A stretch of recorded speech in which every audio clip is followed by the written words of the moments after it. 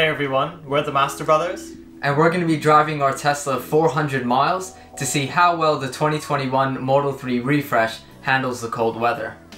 So in this video we're going to be covering trip planning, battery efficiency and charging, the driving experience, whether or not the aero wheel covers actually make a difference, and finally the overall costs and the breakdown of the costs throughout the trip.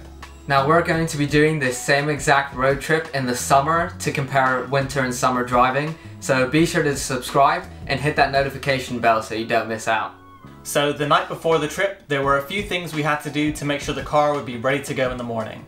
So the first thing we did was plug the car in and then change the settings in the Tesla app to make sure the car would charge to 100% and then we changed the settings in the Ohme app to reflect the same thing, so to bring it up to 100% as well. Yeah, you shouldn't really charge your car up to 100% unless you're planning on going to a long trip, because if you keep on doing it, it'll degrade the battery, so then your maximum range will end up decreasing. Yeah, so Tesla recommends that you keep it kind of below the 85% mark for a daily use, and then only put it to the maximum when you really need it. Yeah. So we set the charge to reach 100% by 8 a.m. in the Ohme app because Ohme is what's controlling the time at which energy is being delivered to the car. And then in the morning at 8.15, so about 45 minutes before we're leaving, we turned on the climate in the car to precondition the cabin and precondition the battery to make sure it was nice and warm for when we set off. Yeah, and while the car was preconditioning, we left it plugged in, so it was charging during that time. So we ended up heading out with about 99% battery, and the charge overnight when we left cost about £4.24. So in the morning before leaving, it was minus 4 degrees Celsius, which is about 25 degrees Fahrenheit, so pretty chilly. And it ended up staying around that temperature the whole day. It only really went up to around 3, 4 degrees Celsius, which is about 40 degrees Fahrenheit, and mostly just stayed around the freezing level, so 0 or 32 degrees. When the car was ready to go, it was predicting we'd get about 328 miles of range, which isn't bad, but it's a bit lower than the 360 miles which Tesla says you'll get. Yeah, however, we put in our final destination of the Chorley Supercharger, and when we put that in, it said we'd arrive with just 5% remaining, and that was 200 miles away, so there was still a difference of about what 128 miles that the battery was saying we should get, but the navigation was saying you weren't going to get out of the car. Yeah, it's, it's tough to know which which number to trust. Yeah, so I mean, I think I think the navigation definitely compensates for the colder weather. It mm. knew that it was going to take more energy, and especially because it was basically all just motorway driving at 70 miles an hour. So yeah, either way, that five percent did have me really worried about making it back without the aero wheel covers on. Yeah, we'll, we'll see what happens though. We'll find out pretty soon. And also, just a quick tip, if you are planning to stop at a supercharger, I definitely recommend inputting it into the navigation because then the car knows and it'll start preconditioning the battery for fast charging when you're about half an hour away from the supercharger destination. So definitely put it in the navigation. So while we were driving, we were using autopilot most of the time for efficiency and consistency when Shaan and I switched over and I found it pretty cool in the beginning, but then after about 20 minutes, I got really bored of it because once you engage it, there's nothing really you can do. I only thought it was cool when I started thinking about the technology behind it, but to be honest, in my opinion, it kind of sucked the joy out of driving because you just stick it in there. It's great because you have nothing to worry about, but then it gets boring because you don't really need to do anything. Well, almost nothing to worry about. We did have a couple of issues, but we're going to go into those a bit later. We also kept the air temperature at 20.5 degrees C, and we used the heated seats for each of our seats that we were sat in on the low setting. And just as a quick tip as well, in winter driving, the most efficient way to kind of keep yourself warm is to keep the air temperature kind of low, but use the heated seats to keep yourself warm. So after half an hour of driving, we checked the energy consumption uh, trip projection, and it turned out to be a lot better than we were expecting. Yeah, so as you remember, when we first headed off, it said we'd arrive with 5%, but now it's saying 17%, which is quite good. I think what they do is they give you a very conservative end battery, mm -hmm. so then when it improves, it makes you feel a lot better. Yeah, yeah, it gives you like a worst case scenario sort of guess. Yeah, definitely reduces that range anxiety a little bit. Yeah, so it was predicting 17%, so we were feeling pretty happy, pretty comfortable that we would make it. Yeah. So our average energy consumption over the last 30 miles of motorway driving was at 290 watt hours per mile. And that was driving at 70 miles an hour on autopilot, auto steer, the works. And only overtaking people if they were slowing us down below 70 miles an hour. Yeah, we ended up hitting a construction zone, which meant we had to drop down to 60 miles per hour. And then our watt hours per mile actually went down to 250 and then averaged out to about 240 watt hours per mile. Yeah, and with the watt hours per mile, the lower the number is, the better, because you're using fewer watt hours, which is a form of energy per mile, so less energy per mile, more efficient. So our projected energy that we'd arrive at the destination with has now also gone up from 17% to 19%. So clearly 60 miles an hour has had a big impact in improving the uh, sort of energy that we would arrive with. In terms of comfort, I was feeling completely fine. I didn't really think about it really, felt no need to adjust myself, so I was sitting pretty well. I was sat in the middle in the back seats to kind of get the shots from the back, and that wasn't too bad. It was a little bit uncomfortable on my lower back, but I think it was only okay because I could spread my legs out in the back. Um, there was no one next to me. So if there were more people in the car and I had to sit in the middle and I had to like kind of keep my legs together, that would definitely be more uncomfortable. Yeah. There was a good amount of road noise. We did a sound test and it was about 80 decibels.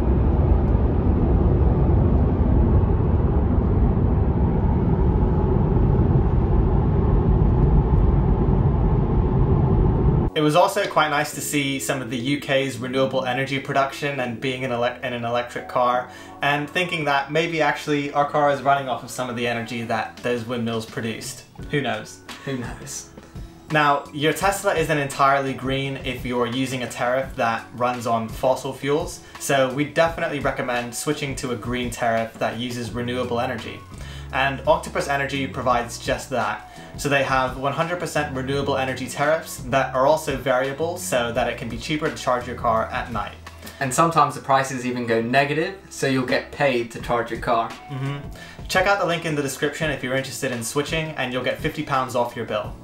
So after about an hour and a half of driving at 70 miles per hour, our watt hours per mile went down from 290 down to 260 and that's mostly because there weren't as many people on the road so there weren't any slower drivers uh, that we had to overtake, so we weren't slowing down and accelerating as much. Yeah, just being more consistent. So I guess the average for 70 miles an hour would be about 260, 270, maybe even 275.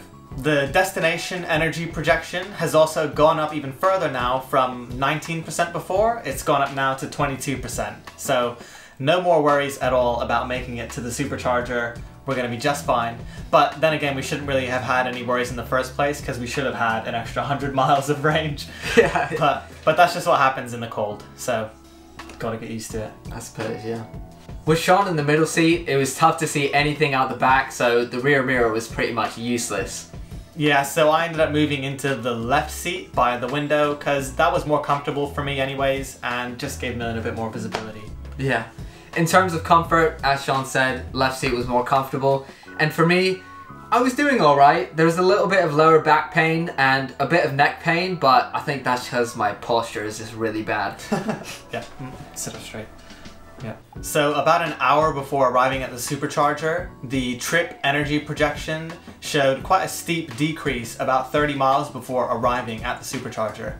And that's because it was compensating for when it would start preconditioning the car for the faster charging. And so that took the sort of projected energy we'd arrive with down from 22% to 18%.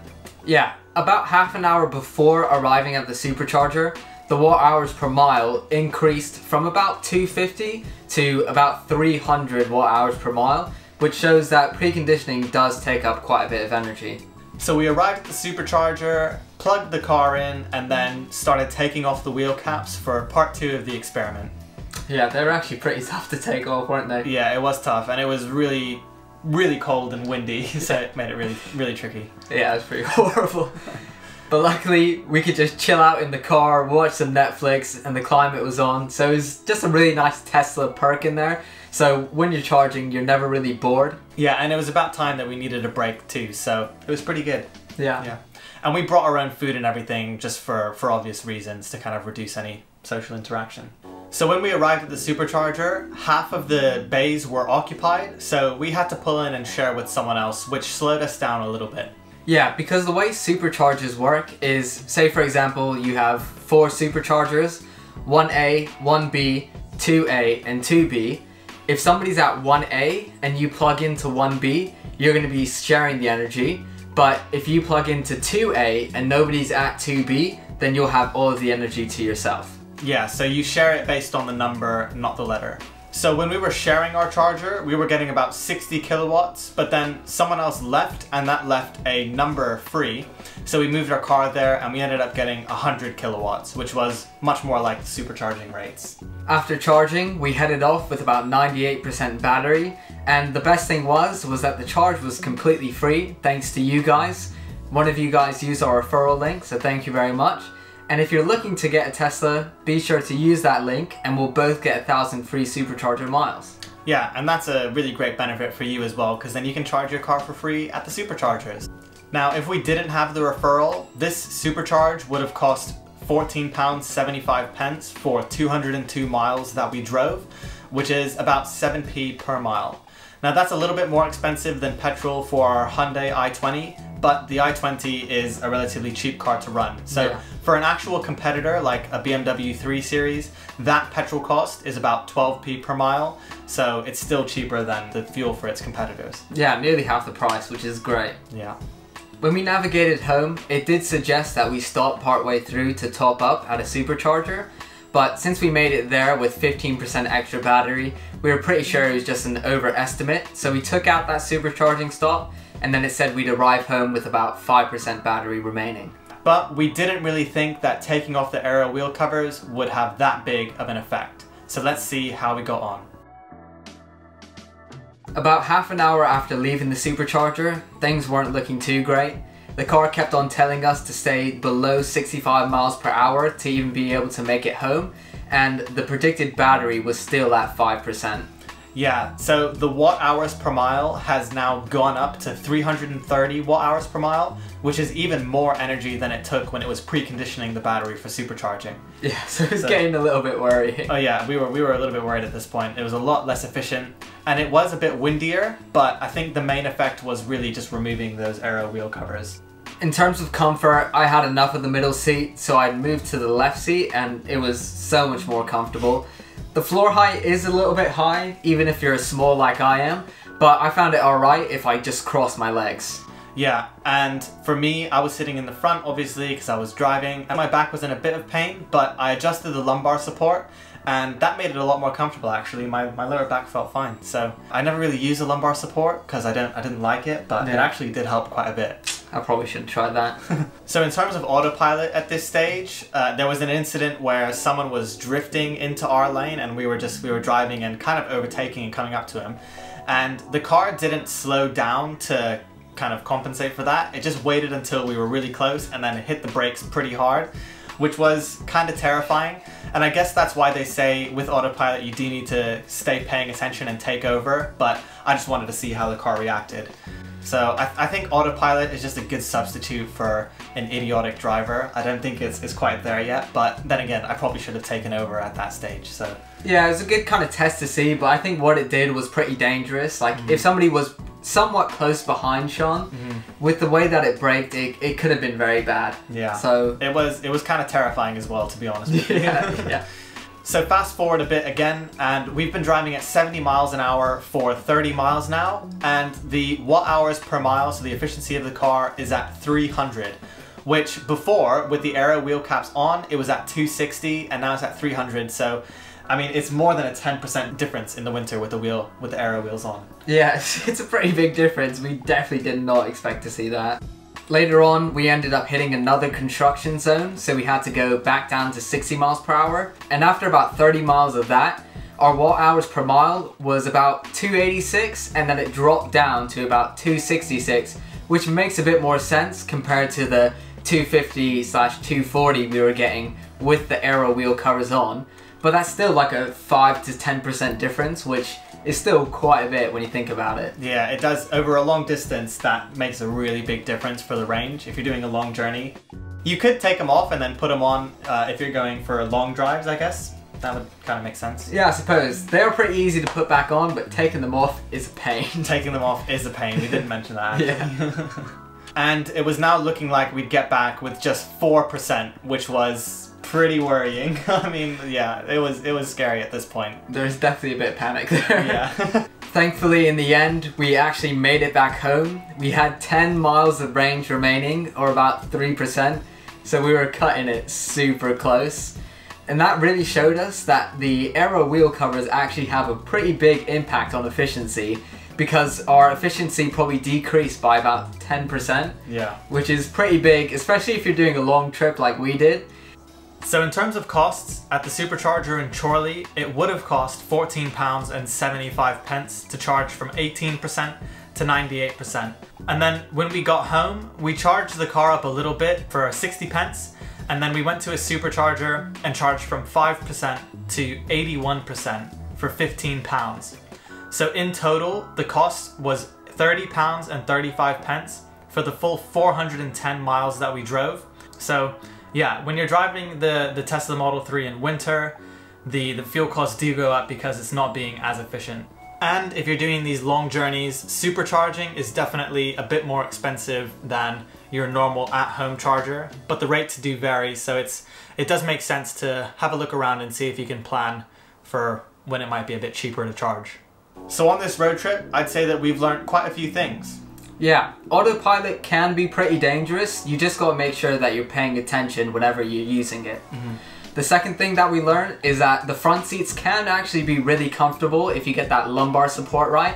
And the back seats are pretty good, but I would definitely not recommend sitting in the middle seat. Yeah, not on a long journey at least anyways. And then very crucially is that the aero wheels have a massive impact on the efficiency of the car. 10% over a long journey can be the difference between you making it and not making it to your final destination. And finally, I think having Tesla's supercharger network just really makes having an electric car worth it. And I mean, if you're going on a long journey, I wouldn't want to go without having the accessibility of that network. So anyways, if you want to see more about our Tesla Model 3, check out our full review. I'll leave a picture right here that you can click on and go straight to that video.